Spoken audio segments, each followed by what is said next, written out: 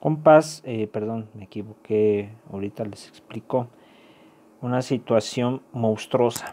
O sea, lo de Michoacán y lo de Jalisco se quedan probablemente atrás. Lo de Veracruz, ay, otra vez me equivoqué, es que quiero borrar esta, esto que estorba, pero bueno. Terror en Veracruz. Una familia fue calcinada dentro de su vivienda en el municipio de Minatitlán. Fíjense otra vez Minatitlán. A través de Infobae dice que se trata de una pareja y su hijo pequeño. Las autoridades estatales se encuentran investigando las causas de la tragedia. Parece ser que también fue el sábado. Medios locales informaron que este fin de semana sobre una trágica historia ocurrida en el municipio de Minatitlán. Una familia que estaba conformada por el padre, la madre y un hijo de, de dos años de edad. Fíjense lo desalmados, asquerosos son los criminales.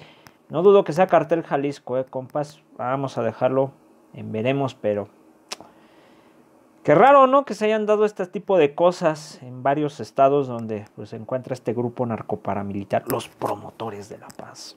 Pero pudieran ser también zetas, pudieran ser gente del Golfo y los que ustedes me digan, pero bueno. Las autoridades ministeriales de la entidad fueron avisadas del hallazgo la noche del sábado con indicaciones de que se encontraba en una casa de la calle Manuel Peña de la colonia Eduardo Soto Inés de dicho municipio veracruzano.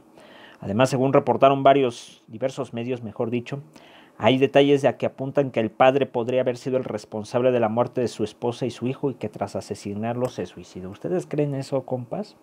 ¿O vamos a seguir eh, eh, vamos a decirlo de esta manera, o ya creemos que sí fue un grupo paramilitar o narcoparamilitar, que ya sé, no les gusta que les diga ese nombre, pero son los mismos, es Cartel Jalisco que le arde, los Viagras, la familia michoacana, los Zetas, los...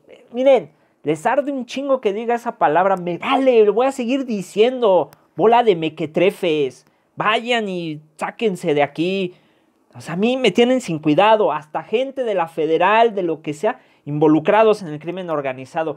Pues hombre, caray, les arde cuando uno dice las cosas. Y fíjense, a través de redes sociales, la Secretaría de Inseguridad Pública de Veracruz confirmó la tragedia. Derivado del hallazgo de los integrantes de una familia con quemaduras en el cuerpo y sin vida dentro de una vivienda ubicada en la colonia Soto Inés, en la ciudad de Minatitlán, la llamada Secretaría de Seguridad Pública del Estado, a través de la Policía Estatal coadyuva con las autoridades encargadas de realizar las investigaciones correspondientes. Se confirma el deceso de dos adultos y un menor de edad. Las autoridades trabajan, dicen ellos, para determinar las causas del siniestro. Fuerzas federales, estatales y municipales mantienen acordonado del sitio para brindar seguridad de los habitantes, dieron a conocer en el comunicado difundido. Según las versiones que se han dado a conocer, los cuerpos de la pareja fueron encontrados quemados en el domicilio en el que residían. Ante esta escena, los elementos de la policía acordonaron el lugar y desplegaron un intenso operativo de seguridad en la zona.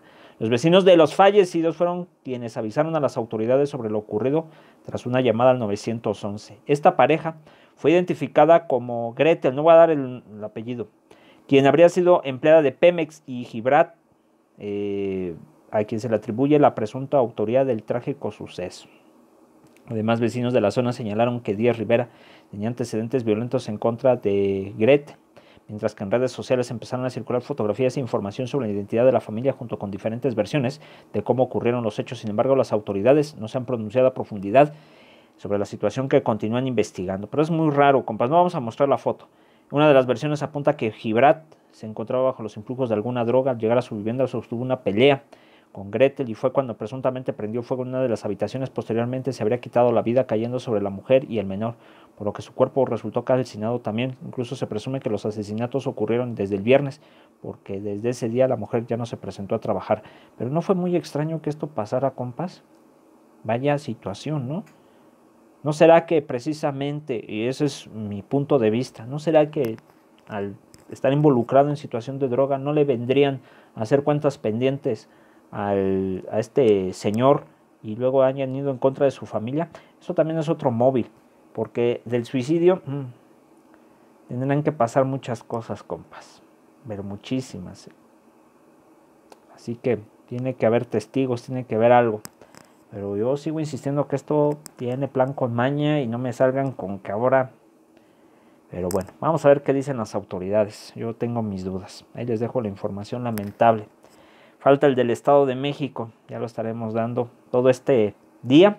Va a ser de lo que sucedió el sábado. En fin, saludos compas.